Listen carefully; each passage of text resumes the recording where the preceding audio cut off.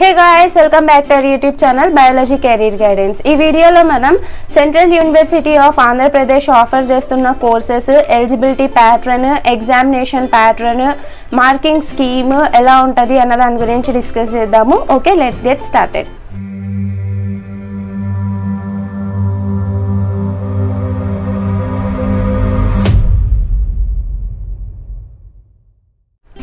first of all నేను మీకు ఒక చిన్న విషయం చెప్పాలనుకుంటున్నా. సియూ సెట్ నోటిఫికేషన్ అనేది ఆల్రెడీ రిలీజ్ అయిపోయింది. సియూ సెట్ అప్లికేషన్ ఫీ ఎంత? ఏ ఏ యూనివర్సిటీస్ పార్టిసిపేట్ చేస్తున్నాయి. ఇంపార్టెంట్ డేట్స్ ఏంటి? అన్న దాని గురించి నేను ఆల్రెడీ వీడియో చేశాను. మీకు కావాలంటే లింక్ని డిస్క్రిప్షన్ బాక్స్లో ప్లేస్ చేస్తాను. Please go and watch the video and the second most important thing is వీడియోలో డిస్కస్ చేసే సెంట్రల్ యూనివర్సిటీ వచ్చేసి సెంట్రల్ యూనివర్సిటీ ఆఫ్ ఆంధ్రప్రదేశ్ మన తెలంగాణ తర్వాత ఆంధ్రప్రదేశ్ స్టేట్స్ విడిపోక ముందు మన రెండు స్టేట్స్కి కలిపి ఒకటే సెంట్రల్ యూనివర్సిటీ ఉండేది. బట్ ఎప్పుడైతే తెలంగాణ ఆంధ్రప్రదేశ్ నుంచి సపరేట్ అయిపోయిందో ఆంధ్రప్రదేశ్కి సెంట్రల్ యూనివర్సిటీ లేదని సో ఆంధ్రప్రదేశ్కి ఒక సెంట్రల్ యూనివర్సిటీని పార్లమెంట్ యాక్ట్ ద్వారా ఎస్టాబ్లిష్ చేశారు. సో ఆ central university of Andhra Pradesh present అనంతపూర్లో లొకేట్ అయి ఉంది. So central university of Andhra Pradesh is located in Anantapur. And దీన్ని రీసెంట్గా టూ థౌజండ్ నైన్టీన్లోనే స్టార్ట్ చేశారు. ఓన్లీ టూ టూ ఇయర్స్ అవుతుంది. అంతే యూనివర్సిటీని స్టార్ట్ చేసి కూడా.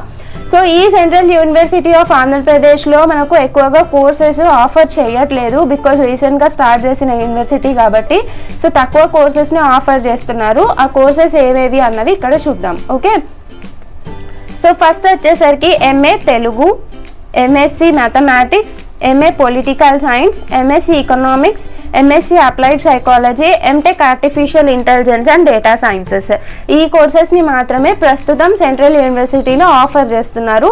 సో రాను రాను మనకు కోర్సెస్ అన్నవి పెరగచ్చు. బట్ ప్ర ప్రజెంట్ అయితే ఈ ఇయర్కి అయితే ఈ కోర్సెస్ని మాత్రమే ఆఫర్ చేస్తున్నారు. Okay then uh, exam pattern ఎలా ఉంటుంది? సో మనకు అందరికీ తెలుసు ఇంకా సియూ సెట్ మనకు central universities common entrance test అన్నది సిబిటి మోడ్లోనే కండక్ట్ చేస్తారు.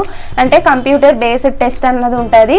అండ్ మనకు క్వశ్చన్ పేపర్ ప్యాటర్న్ ఎలా ఉంటుంది? అంటే మనకి ఇక్కడ మెన్షన్ చేసిన అన్ని కోర్సెస్ అన్నీ ఈ ఫస్ట్ పేపర్ కోడ్ కిందికి వస్తాయి కాబట్టి మన క్వశ్చన్ పేపర్ ప్యాటర్న్ ఎలా ఉంటుంది? అంటే సో క్వశ్చన్ పేపర్ని టూ పార్ట్స్గా డివైడ్ చేశారు. That is part A and part B part A వచ్చేసరికి ట్వంటీ ఫైవ్ క్వశ్చన్స్ అడుగుతారు. ట్వంటీ ఫైవ్ క్వశ్చన్స్ ఏ ఏ ఏరియాస్ నుంచి అడుగుతారు అంటే మెయిన్గా ఇంగ్లీష్ నుంచి అడుగుతారు.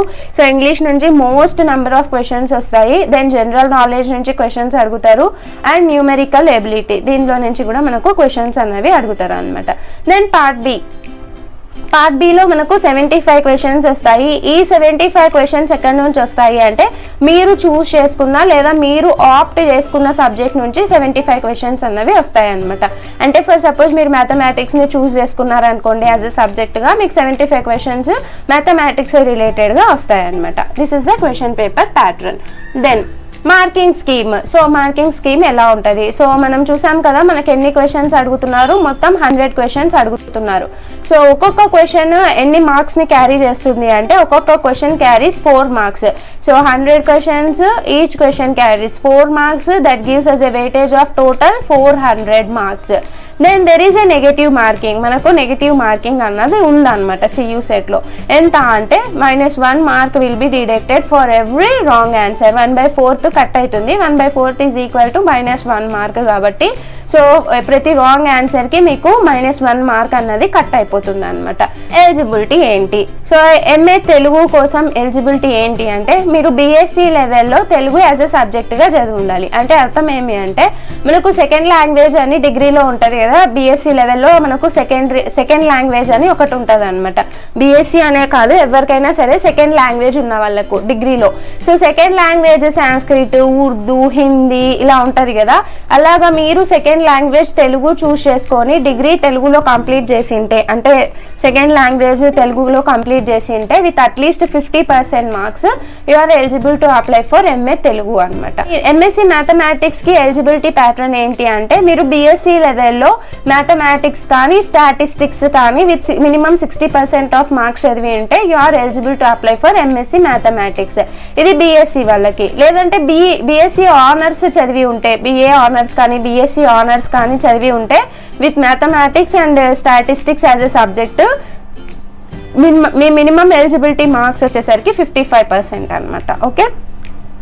Then MA political science MA political science వాళ్ళకి వచ్చేసరికి మీరు సోషల్ సైన్సెస్ కానీ హ్యుమానిటీ సబ్జెక్ట్స్ కానీ చదివి ఉండాలి with minimum fifty percent of marks లేదంటే ఏదో ఒక సబ్జెక్ట్ బ్యాచిలర్స్ డిగ్రీలో అంటే డిగ్రీలో మీరు ఏదైనా సబ్జెక్ట్ చదివి ఉండాలి with minimum fifty fifty five percent of marks okay మీరు డిగ్రీ చేసి ఉండాలి with minimum fifty five percent marks then you you are eligible to apply for MA political science okay next MSc economics MSc economics కోసము మీరు degree లెవెల్లో economics as a subject చదివి ఉండాలి with minimum fifty percent of marks or మీరు BSc డిగ్రీలో commerce కానీ statistics కానీ mathematics కానీ ఇంజనీరింగ్ కానీ లేదంటే ఏదో ఒక సోషల్ సబ్జెక్ట్ కానీ చదివి ఉండాలి with sixty percent of marks okay economics అయితే ఫిఫ్టీ పర్సెంటే వేరే ఏ సబ్జెక్ట్స్ అయినా sixty percent minimum eligibility mark అనమాట then MSc applied psychology MSc applied సైకాలజీకి మీకు డిగ్రీ ఉండాలి with minimum fifty percent of marks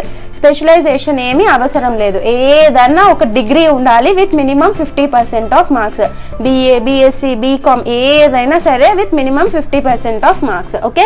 Next MTech MTech artificial intelligence and data science దీనికి వచ్చేసరికి మనకు ఫిఫ్టీ పర్సెంట్ ఆఫ్ మార్క్స్ అన్నది ఖచ్చితంగా ఉండాలి. దెన్ మనకు ఏమేమి ఆప్షన్స్ ఉన్నాయో చూద్దాము. డిఈ ఆర్ బీటెక్ సో మీరు బ్యాచిలర్ ఆఫ్ ఇంజనీరింగ్ కానీ బ్యాచిలర్ ఆఫ్ టెక్నాలజీ కానీ ఏదైనా కంప్యూటర్ రిలేటెడ్ సబ్జెక్ట్ సో ఇక్కడ మెన్షన్ చేసిన ఏదో ఒక కంప్యూటర్ కానీ ఐటీ రిలేటెడ్ సబ్జెక్ట్లో కానీ మీరు బీటెక్ కానీ బీఈ కానీ ఫిఫ్టీ పర్సెంట్ ఆఫ్ మార్క్స్తో కంప్లీట్ చేసి ఉండాలి లేదా ఎంసీఏ కంప్లీట్ చేసి ఉండాలి with minimum fifty percent of మార్క్స్తో. లేదా MSc in computer science or IT information technology in relevant ఫీల్డ్లో కానీ అంటే కంప్యూటర్ సైన్స్ రిలేటెడ్గా ఏదో ఒక పీజీ డిగ్రీ అన్నది ఉండాలి with minimum fifty percent of marks so this is eligibility criteria for different different courses guys different different central universities different different courses offer చేస్తున్నాయి. And different different eligibility pattern అన్నది ఉందన్నమాట. Okay I hope you like this video next వీడియోస్లో ప్రతి ఒక్క central university గురించి in డీటెయిల్గా మాట్లాడదాము. Until then if you like this video please hit the like button subscribe the channel and share it with your friends. Thank you for watching.